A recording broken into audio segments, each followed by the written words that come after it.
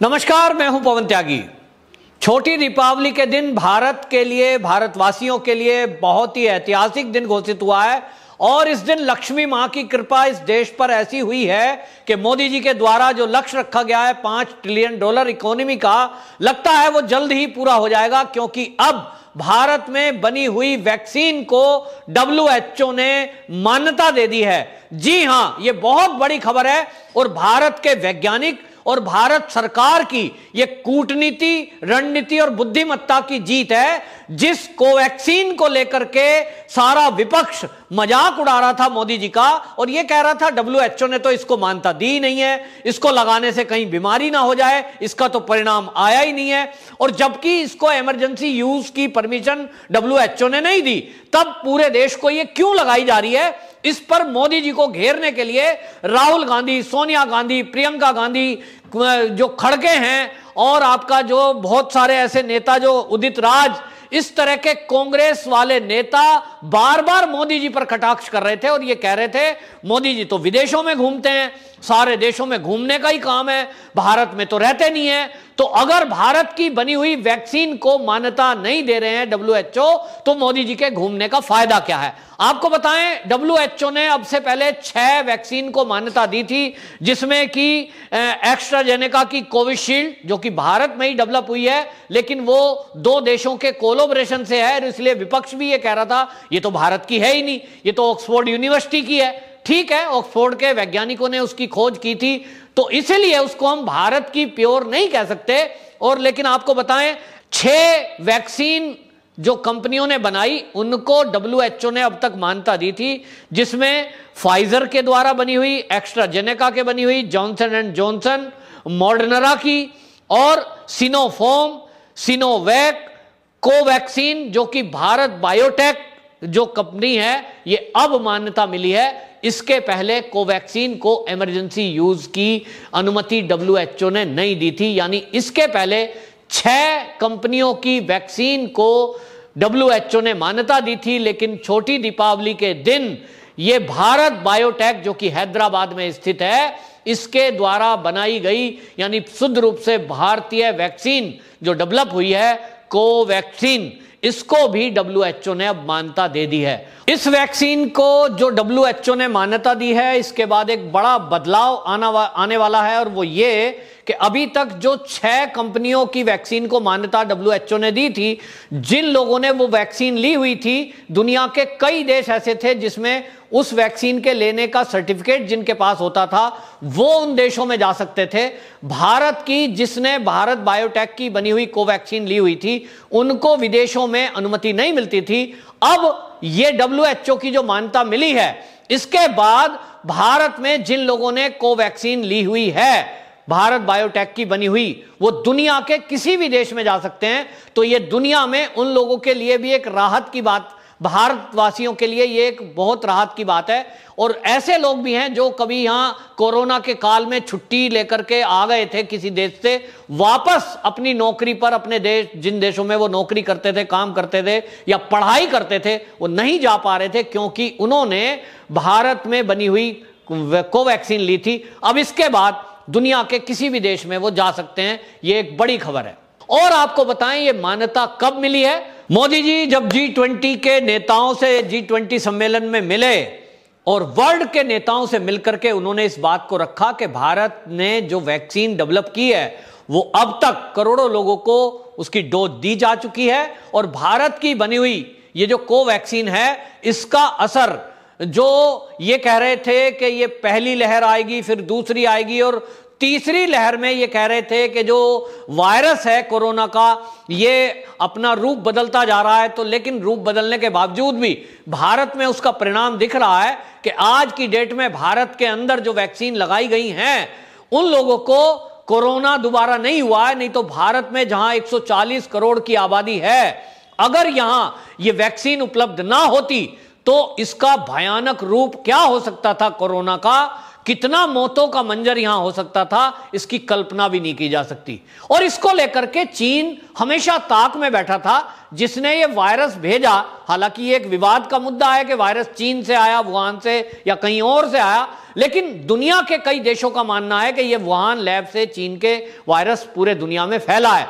लेकिन भारत में जब ये आया तो भारत उस स्थिति में ना था यहाँ पर कि ना तो यहाँ वैक्सीन थी, ना दवाइयाँ थी, ना पीपीई किट थी, कोई जानकारी इस वायरस के बारे में नहीं थी। तो चीन ने यह उम्मीद जताई थी कि अरबों खरबों रुपए का, अरबों खरबों रुपए डॉलर का वो व्यापार करेगा भारत के साथ भारत को पीपीई किट बेचेगा। आज की डेट में आपने वो पीपीई किट देख ही ली है, जो भारत के हॉस्पिटल्स में डॉक्टर लोग पहनते हैं। वो एक बारीक सा कपड़ा है जिसका थैला बनता है सब्ज़ी वब्जी लाने के लिए, लेकिन उसकी डेढ़ हज़ार रुपए कीमत वसूल रहा था चाइना। इसी तरह आप देखिए कि ये पूरी कोविड जो पीपीई किट के अलावा जो मास्क हैं वो मास्क आप और हम जो मेडिकल स्टोर से आज की डेट में दस रुपए का ले आते हैं, उसकी पचास रुपए वसूली कर रहा था चीन। और इसीलिए उसने वैक्सीन बना के रखी थी कि जब भारत को ज़रूरत पड़ती है तो भारत तो चम्मच से लेकर हवाई जहाज़ तक कोई ज़रूरत पड़े तो हम उसको माल सप्लाई करते हैं। तो भारत हमसे ही लेगा, ऐसी उम्मीद लगाए बैठा था। और जिस तरह से चीन की एक पॉलिसी है कि वो विस्तारवादी नीति के तहत दुनिया के अधिकतर देशों में पहले वो अपना कच्चा माल देता है, उसके ज़रिए वो उधार बांटता है, फिर उन देशों पे कब्जा करता है। पाकिस्तान में आज की डेट में क्या हुआ है? पाकिस्तान को एक तरह से उसने कैप्चर कर लिया है। पूरा गिरवी पाकिस्तान रखा हुआ है, क्योंकि जो उसके कुल एसेट्स हैं, उसका पाँच गुना लोन चीन ने पाकिस्तान को दे दिया है। वो उम्मीद कर रहा था कि भारत के साथ भी कुछ ऐसा ही करेगा। भारत में जहाँ लोग इस तरह का स्वार्थ भी देखा गया है कि अगर एक दीपावली पे लड़ी खरीद रहे हैं तो भाई भारत में बनाई हुई लड़ी तो दो सौ रुपए की है, चाइना वाली सौ रुपए की है। तो क्यों ना चाइना वाली ले लें? लोगों के अंदर देशभक्ति की भावना नहीं है, घटती जा रही है, और जिसमें कि विपक्ष जो है देश का, जिसमें कि खास तौर पे कांग्रेस और कम्युनिस्ट, ये लोग ऐसा तड़का लगाते हैं, ये ऐसा भ्रम फैलाते हैं। लोगों को लगता है कि इसमें क्या हर्ज है? कि चीन का कोई सामान ले या भारत का। लेकिन इस अर्थव्यवस्था का भारत के भविष्य पर क्या फ़र्क पड़ता है, ये जब जानेंगे तो पता चलेगा कि भारत को आर्थिक रूप से गुलाम बनाने के मंसूबे पालने वाला चीन कैसी साजिशें कर रहा है।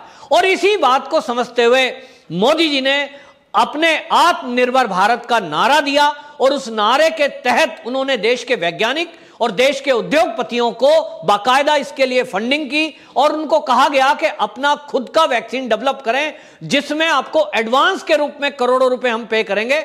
आप अपने वैज्ञानिकों से रिसर्च कराइए। उसको लेकर भी विपक्ष ने सवाल उठाए थे और ये तक सवाल कर दिए थे कि ये जो कोविशील्ड बनाने वाली कंपनी है, इसको तीन हज़ार करोड़ रुपए मोदी सरकार ने एडवांस में क्यों दिए? ये उद्योगपतियों की सरकार है, ये उद्योगपतियों के लिए दे रहा है। हालाँकि वो पैसे इसलिए दिए गए थे क्योंकि उनसे 40 करोड़ वैक्सीन का एडवांस करार किया गया था और वो भी आधी कीमत पर। और वो भी इस तरह वो ट्रीट हुआ था। वो ट्रीटी जो हुई थी वो इस तरह से कंपनी के साथ हुई थी कि पहली 60 करोड़ डोज आप आ, हम हमको दोगे उसके बाद किसी और कंपनी को दोगे। हालाँकि इस सब विवादों के बीच में हमारे खुद देश की भारत बायोटेक ने अपनी वैक्सीन डेवलप की लेकिन इस वैक्सीन को बदनाम करने के लिए जिस तरह से हम हमेशा देखते हैं हमारे देश का विपक्ष एकदम से ऐसा समझ लीजिए कि जैसे वो चीन का एक एजेंट बन गया है, चीन की वैक्सीन भारत में क्यों नहीं आ रही है, इस पर सवाल उठाए गए। और आपको ध्यान होगा कि जब कोरोना पीक पर था भारत में भारत के कई राज्य ऐसे थे जहाँ कांग्रेस की सरकार है या कम्युनिस्टों की सरकार जहाँ पर उनके सहमति से चल रही है। इन लोगों ने डायरेक्ट ये सरकार पर दबाव बनाया केंद्र सरकार पर कि हमको डायरेक्ट जो है ऑर्डर देने की छूट मोदी सरकार क्यों नहीं दे रही है? मोदी जी लोगों को मारना चाहती है, हमें वैक्सीन नहीं मिल रही है। जो हमने देखा था कि इसमें मीडिया भी मिल गया और जो वर्षों से हमारे देश की एक परंपरा है कि नदी के किनारे बौद्ध धर्म के लोग अपनी डेड बॉडियों को रेत के नीचे दबाते हैं, उसके ऊपर चादर उड़ा देते हैं। पिछले साल की वीडियोस फ़ोटोज़ उसको यूज़ किया गया ये बताकर कि हज़ारों लाखों मौत हो रही हैं, नदी के किनारे शव बह रहे हैं। मतलब दुष्प्रचार किया गया ये करके, जिससे कि केंद्र सरकार के ऊपर दबाव बनाया जा सके कि वो आनंद फानन में चीन की कंपनी को इस वैक्सीन का ऑर्डर दे दे। लेकिन मोदी जी ने अपना धैर्य नहीं खोया।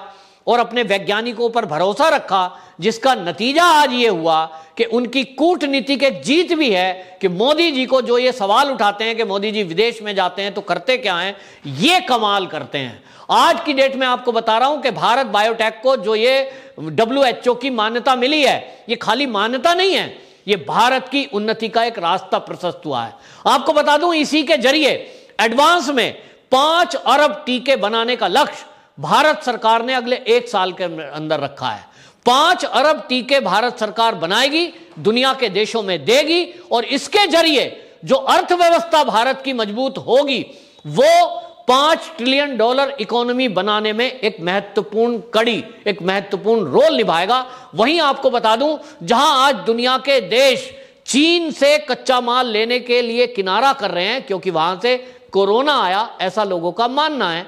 तो ऐसे में भारत उनके सामने एक विकल्प बनकर के खड़ा होना चाहता है, जो आज के बाद इस वैक्सीन को देकर वो दिखाना चाहता है। कुल मिलाकर भारत की उन्नति के लिए माँ लक्ष्मी की कृपा से लक्ष्य दीपावली के दिन ये भारत के लिए शुभ घड़ी आई है, ये शुभ समाचार आया है। एक बहुत बड़ा दुनिया से ये वैक्सीन का ऑर्डर आप कह सकते हैं, ये हमको मिला है, जिससे भारत के उद्योग धंधे, भारत सरकार और उसमें हम भी सब हैं, सब देशवासी भविष्य में खुशहाल होंगे, ऐसा माना जाता है। आप सबको दीपावली मंगलमय हो। वंदे मातरम।